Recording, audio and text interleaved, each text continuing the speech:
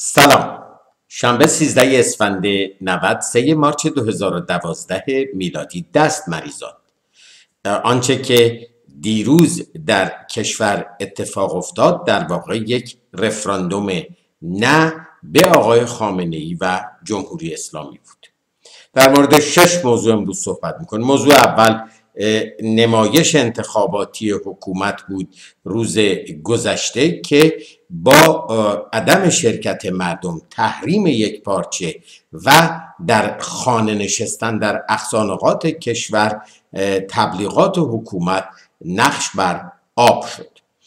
دیروز از طریق بچه های وزارت کشور من مطلع شدم که آماری که از حوزه های مختلف از طریق کامپیوتر رفته به مرکز وزارت کشور. چیزی در حدود 15 میلیون نفر رو در سراسر کشور نشان میده که در انتخابات شرکت کردند یعنی کمتر از سی درصد بیست و چند درصد که به طور طبیعی در شهرهای کوچیک و روستاهایی که رقابت حالت قبیلگی و خانوادگی داشته طبیعی بوده. اما در شهرهای بزرگ تهران و مراکز استانها عدم مشارکت مردم بینظیر بوده و حکومت رو یک بار دیگه با رسوایی مواجه کرد.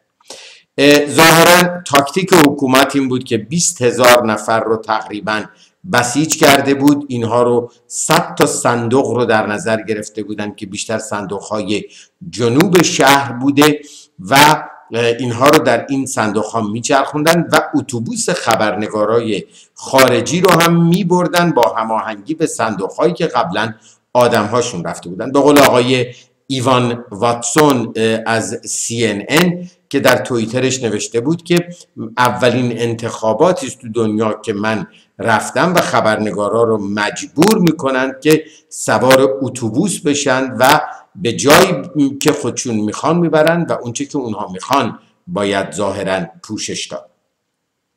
بر صورت این شامورتی بازی ها سر دنیا رو نمی‌تونه کلاه بگذاره. برخورد مطبوعات دنیا بسیار سرد بوده به این نمایش انتخاباتی و در واقع آقای خامنه ای از این نمد کلاهی برای خودش نتونست درست بکنه.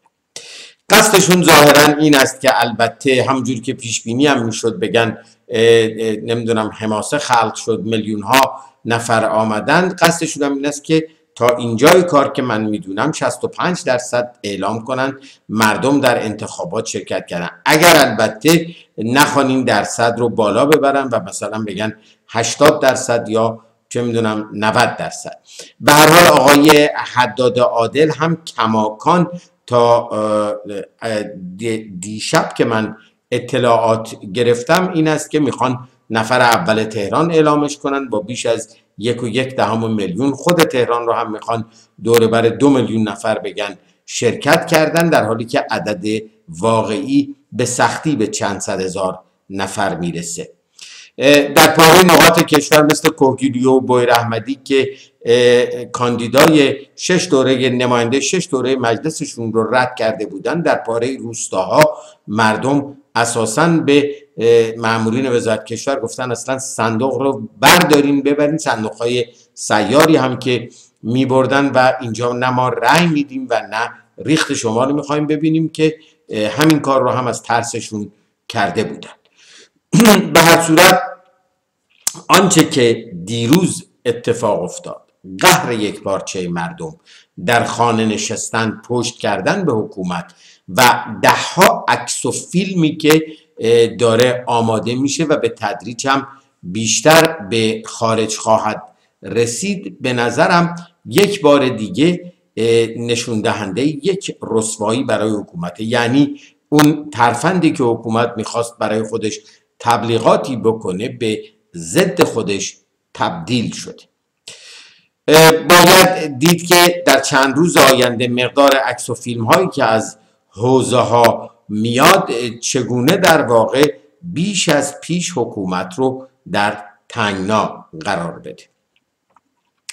از نکات حاشیه‌ای این انتخابات هم اینکه آقای هاشمی رفسنجانی یک متلکی به در واقع آقای خامنه ای گفت موقعی که سر صندوق رفت و گفت که انتخابات خلاصه انشالله نتیجهش همونی باشه که مردم در صندوق میندازن. همون رأی بیرون میاد که میره توی صندوق. این کار باعث شد که از شبکه پنج تلویزیون ایران سیمای جمهوری اسلامی مرگ بر هاشمی پخش کردن و احتمالا فشار به آقای هاشمی در روزهای آینده افزایش پیدا کنه مسئله شرکت آقای خاتمی که خبرگزاری فارس گفته که در آب سرد دماوند آقای خاتمی رفته و رأی داده مسئله ساز شده. بعضی بچه ها به شدت ناراحت شدن و به آقای خاتمی پریدن. منتها باید صبر کرد ببینیم واکنش رسمی خود آقای خاتمی چیه. برای اینکه به خبرگزاری فارس هیچ اعتمادی نیست. جالبه که آقای امثال آقای کواکبیان هم که در قالب اصلاح طلب جست می‌گرفتن و عملا از پشت خنجر می‌زد در طول مجلس گذشته به جنبش سبز. اولین خبرها کیست که از سمنان ایشون رو هم نگذاشتن که نماینده بشه و نشون میده که دار دسته ای که انحصار کردن مجلس رو محکمتر از اون به هر صورت آنچه که دیروز اتفاق افتاد جای تبریک داره به همه بچه هایی که زحمت کشیدن به همه کسانی که تدارک کردن و به خانواده ها رسوندن اخبار رو که کسی از منزل بیرون نیاد تحریم یک پارچه زمینه قدم اول محکمی است برای اینکه تمرین خوبی است برای اینکه اعتصابات یک روزه رو به تدریج در دستور قرار بدیم. ضمن اینکه چهارشنبه سوری دو هفته دیگه در پیشه و روزی است که می شود پا توی خیابون گذاشت با تاکتیک چهارشنبه سوری و این بار با حضور خودمون یک درس ادبی به آقای خامنه ای بدیم و به قول بچه ها بفرستیمش بره آمل یه هفته تمدد اعصاب بکنه. در خصوص اکسیون چهارشنبه سوری و اینکه چه استفاده ازش میشه کرد باز هم صحبت خواهیم کرد. نکته دوم اینکه آقای محمد عطارودیان نماینده کارفرمایان در شورای عالی اشتغال مطرح کرده که در اسفند ماه امسال نرخ بیکاری به بیش از 31 درصد در کشور رسیده و با رکودی که گریبان های تولیدی رو گرفته ایشون گفته که اخراج کارگران شب عید افزایش یافته نکته سوم اینکه بانک دولتی روسیه حساب سفیر جمهوری اسلامی و کارمندان سفارت رو بسته و آقای ببخشید محمود رضا سجادی سفیر ایران در روسیه مطرح کرده که این بانک تسلیم تحریم امریکا شده.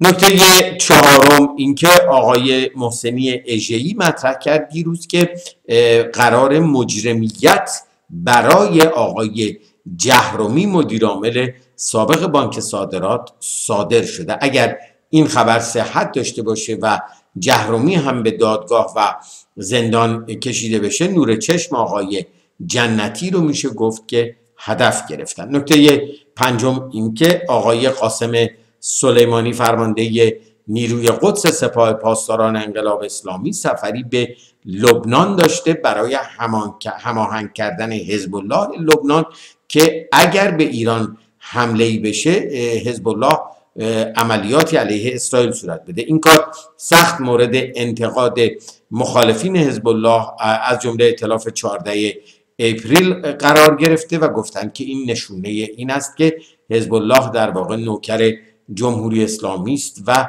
به قیمت به خطر انداختن لبنان و جنوب لبنان غلام حلقه به گوش ایران. نکته آخر اینکه دیروز در سوریه اعلام شده بود تظاهرات جمعه با عنوان کمک به کمک تسلیحاتی به ارتش آزاد سوریه است. مردم در سراسر سر سوریه باز هم به خیابان ها آمدن و در هومز مخالفین میگن که پشت بیسیم ها زبان فارسی رو گاهی میشنوند به نشونه حضور نیروهای جمهوری اسلامی. آقای پوتین در مصاحبه با شش نشریه غربی مطرح کرده که روسیه روابط ویژه‌ای با حکومت سوریه نداره و خیلی ناظران این رو نشونه چرخش روسیه گرفتند. آقای دیوید کامرون نخست وزیر بریتانیا هم اعلام کرده که خواستار گردآوری